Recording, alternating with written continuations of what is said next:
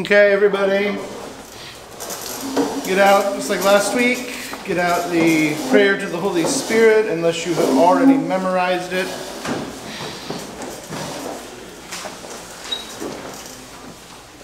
In the name of the Father, the Son, and the Holy Spirit, amen. Come, Holy Spirit, fill the hearts of us, your faithful, and kindle in us the fire of your love. Send forth your Spirit, and we shall be created, and you shall renew the face of the earth. O God, who by the light of the Holy Spirit instructs the hearts of the faithful, grant that by the same Holy Spirit we may be truly wise and ever rejoice in his consolations through Christ our Lord. Amen. In the name of the Father, the Son, and the Holy Spirit. Amen. Okay, so you may remember, you may have talked about in the small groups at the beginning.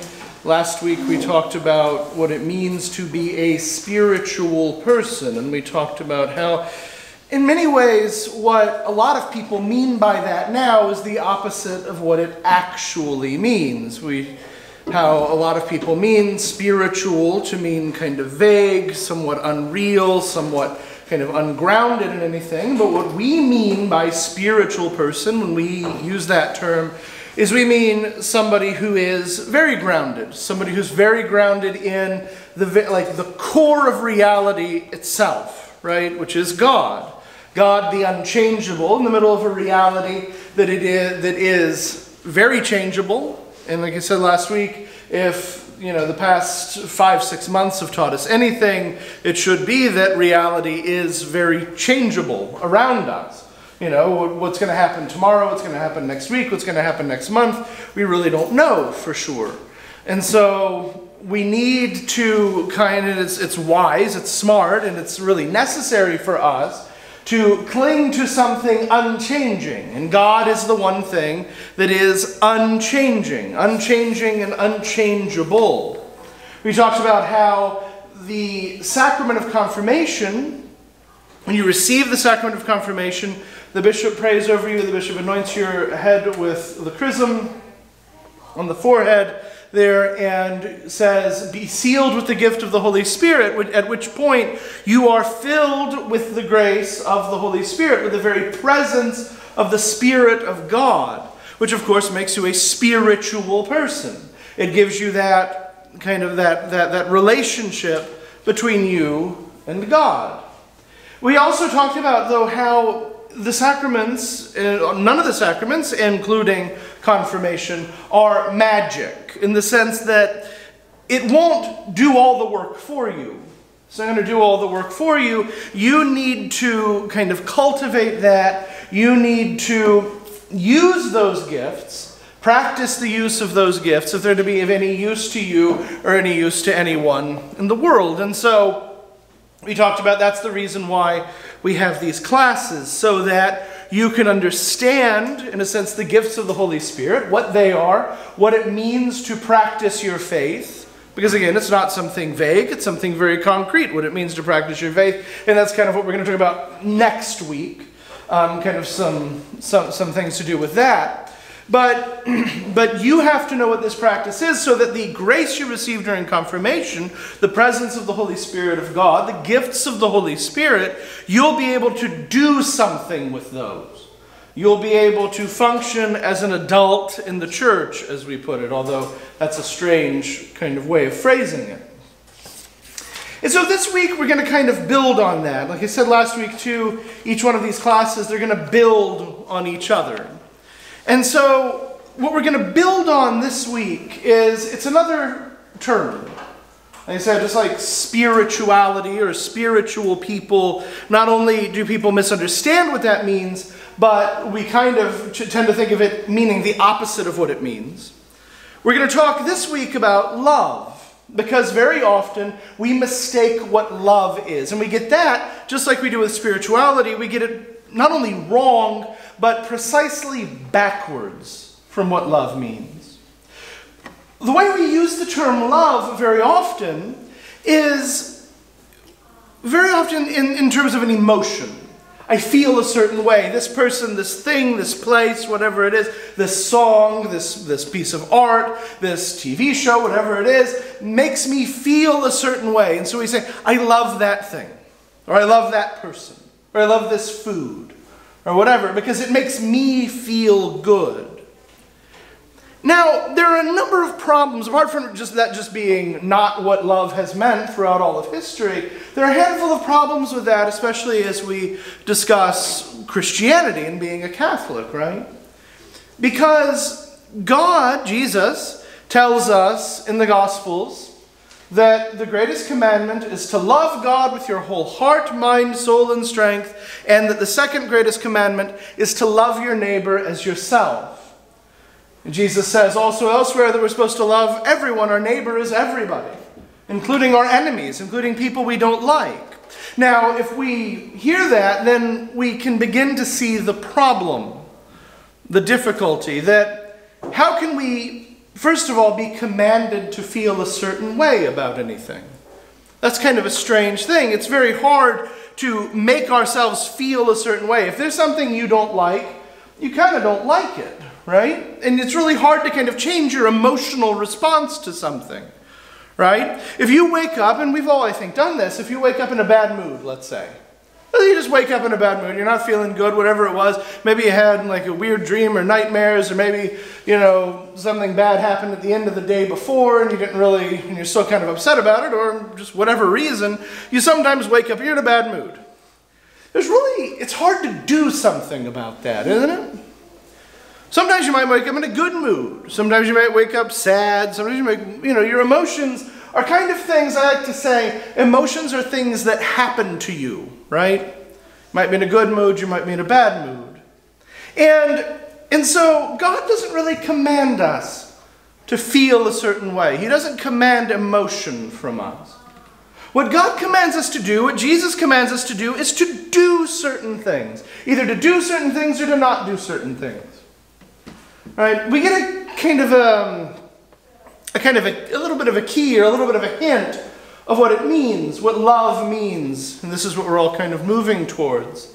In the Gospels, Jesus says, too, that you are my friends if you do what I command you, if you keep my commands. And that gives us a hint of what love is. Because love isn't an emotion. Again, how could we feel a certain way about everyone, especially if we think of love as kind of like, you know, the feeling that you have if you, like, say, fall in love with someone. You get really excited to see somebody, you know, or somebody that you're just very close friends with and you like to see them and you're excited about seeing them, and that's love, and you have to feel that way about everybody. Just walking down the street, you go to the grocery store, you have to feel that kind of love, that emotional response to every single person that you run into. Well, that's kind of crazy and definitely weird, and it would be weird if you felt that way about everybody. Love isn't an emotion. Love is a choice that we make. It's a decision that we make. It's an act of the will, as we put it. We can choose to love or not love. If I'm in a bad mood, I can still choose to love or not love. If I even don't really like someone, I can still choose to love them or not love them. Love is a decision that we make. All of morality really is about decisions that we make, the commandments and everything else. And so, when Jesus commands us to love God with our whole heart, mind, soul, and strength, and commands us to love our neighbor as ourselves, He's not commanding us to feel anything, He's commanding us to do certain things. To act in a loving way towards God, and to act in a loving way towards our neighbor. So, what is this way? If that's true, and that's what love has always kind of meant. You know, up until fairly recently, historically, if you use the word love, this is what, what you mean is what I'm talking about. Not kind of romantic love or affection. Affection is the word we'd use to describe the emotion.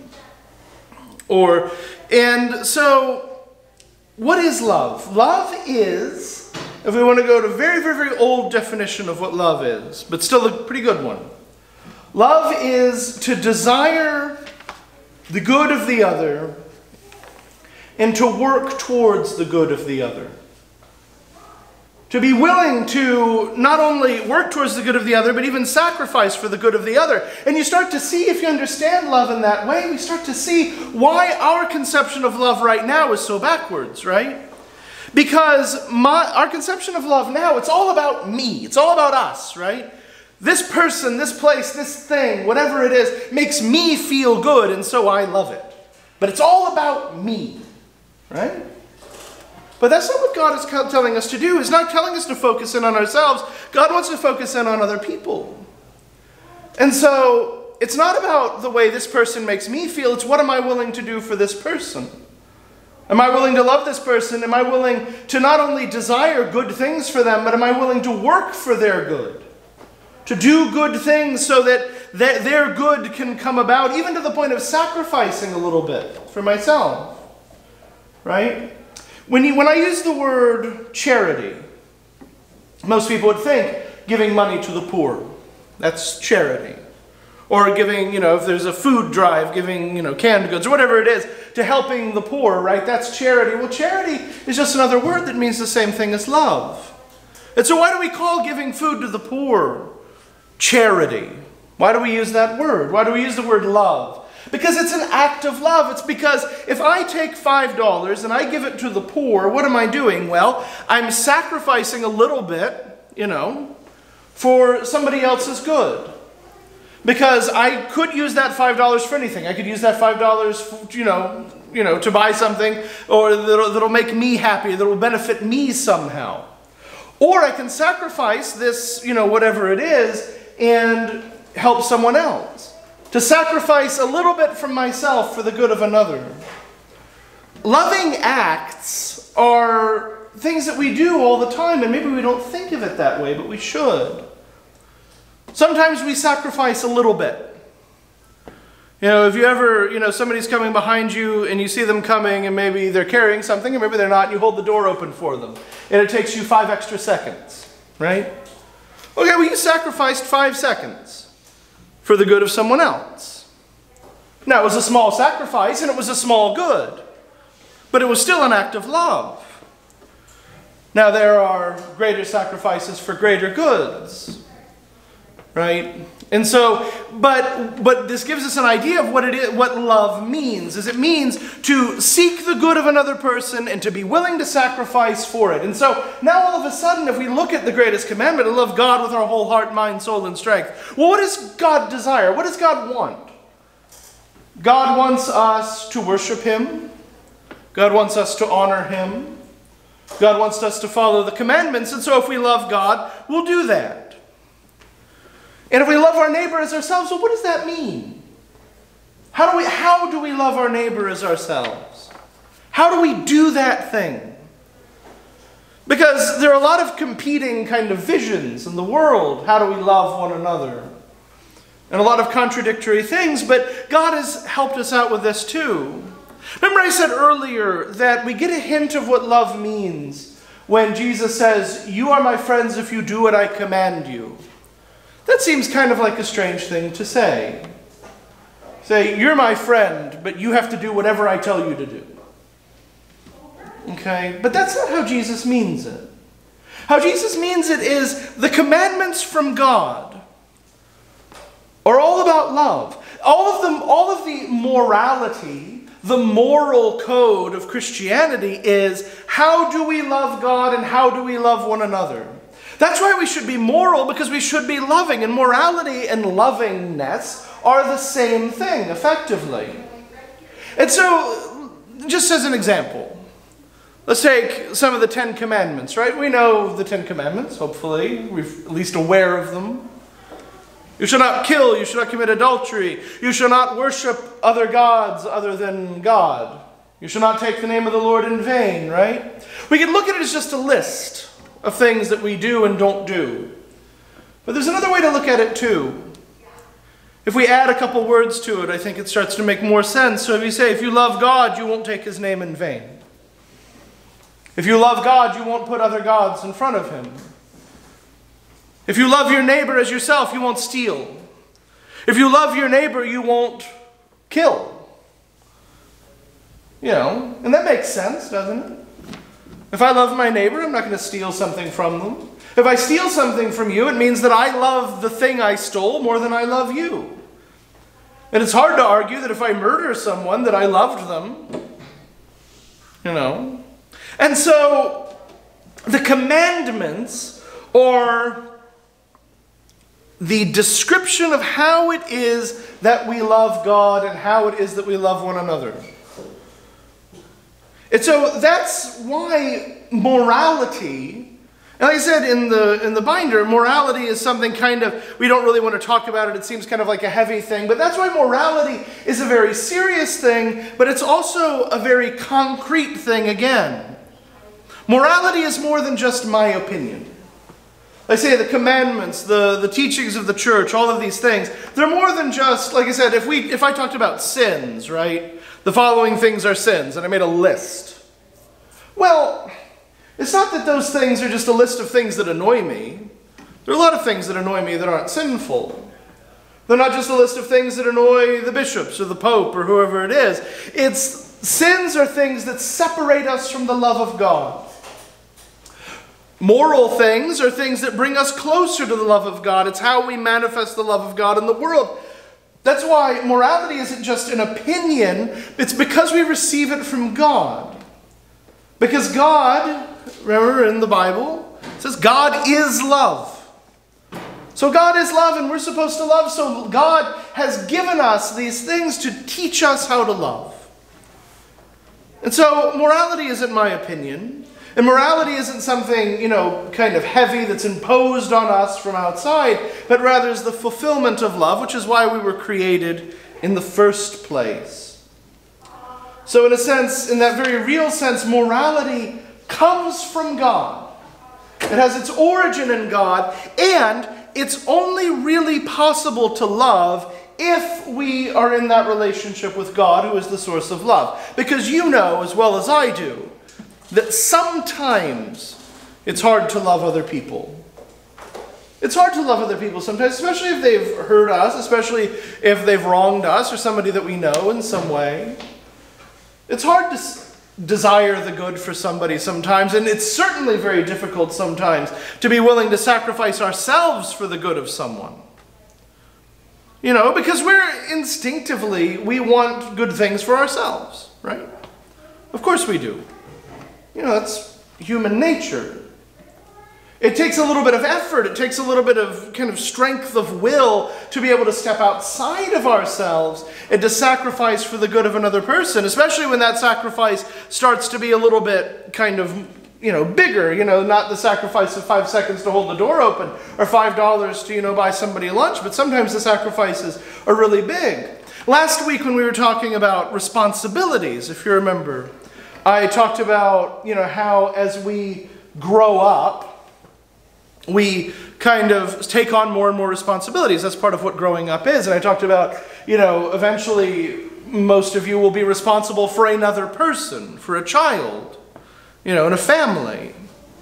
Well, you think about, you know, the sacrifices that parents make for their children. You know, it's a lot of sacrifice, a lot of time, a lot of energy, a lot of money. You know, you know, to buy food, shelter, clothing, and education for their children. That costs a lot of money and no small amount of time. But why do they do it? Out of love. Those are big sacrifices. Why are the, the catechists who are here in this room, but also teaching in the rooms down the hall, why are they here? It's a sacrifice of love. It's several hours of time. They're not getting anything out of it directly. I mean, that I'm not paying them. You're not paying them. But they're here because they care about you and they're willing to sacrifice a couple of hours for your good, right? Sometimes it can be hard, but it's worth it. Because I want you to imagine for a minute a world where all that most people are concerned about is their own happiness. I'm concerned about my own happiness, and I'm willing to use you to make me happy. And I love you as long as you make me happy, but if you don't make me happy, you're gone. I don't care about you anymore. You know, I put you aside. Imagine a world like that. We don't have to imagine that hard. That's more or less the world we live in. A lot of the time, anyway.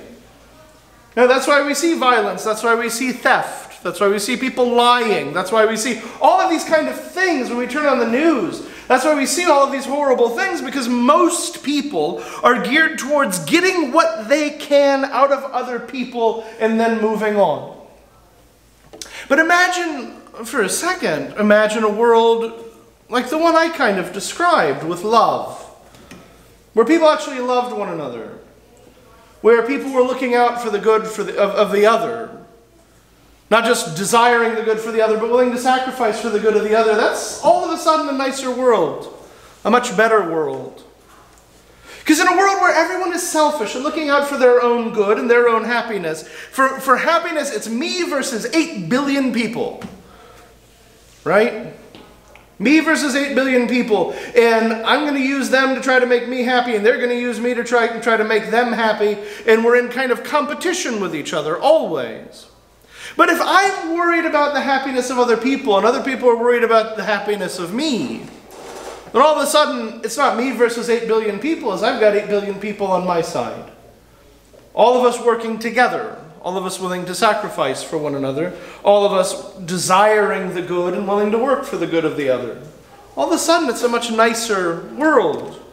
Now, we can't cause that to happen, in a sense. You know, we can't bring it, we can't change this room full of people, we can't change 8 billion people. But there's some things we can do. We can change ourselves. We can, by the sacrament of confirmation, by our living as an adult in the church, in that true spiritual sense, by that interaction that we have with the God who is the source of all love, we can change ourselves. And if that's all we can do, then maybe that doesn't change the world, but it's a pretty good start. To seek out the happiness of others, to seek out the good of others, to be willing to sacrifice for that. And we can start to change the world a little bit. Again, we can start to change the world a little bit, make it a little bit better, make it a little more loving, make it a little more charitable, as we'd say. And bring God to other people and bring ourselves closer to God too. What a wonderful thing that is. And so we are we should be very pleased, although not everyone is, that we have, by means of the church, a way to know what is loving and unloving, a way to know what is moral and immoral. It's the same thing. A way to know what it is, because, like I said, it's not always easy not only to work for the good of another person, but it's not always easy to know what that is. Right? Now, of course, the greatest good for another person is salvation, eternal life. Right? to bring about that greater good of eternal life. And so that's why it is a great act of charity to pray for other people, an act of love. Right? You go, you pray for someone else. You pray for their happiness. You pray for, you know, their success. You pray for their salvation, the forgiveness of their sins. You know, that's why we read in the, in the church fathers very often, you know, if you see someone sinning, go pray for them. Because it's an act of charity to pray for them, to bring them closer to God, to closer to their greatest good. So that's the greatest good, and there are other goods along the way food, shelter, clothing that people need, and education, friendship, kindness, all of these things. I say there is no difference between morality and love, they're the same thing. And so the church helps to guide us because, again, we can get confused because there's a lot of things, there's a lot of competing things in the world, and it's not always clear. It's not always clear what it is, what the right thing to do is, what the good thing to do is, either for ourselves or for other people. So the church guides and the church helps us, and so we should give thanks to the, for the, that the church is there, that God has given us the church to help guide us to know what is the good. And so for now, we want to break into small groups for a little while. Um, I will come back here. Well, I will we'll, we'll break for about 20, 25 minutes, and then we'll have some announcements, and then we'll have uh, the rest of the talk for this evening. Thank you.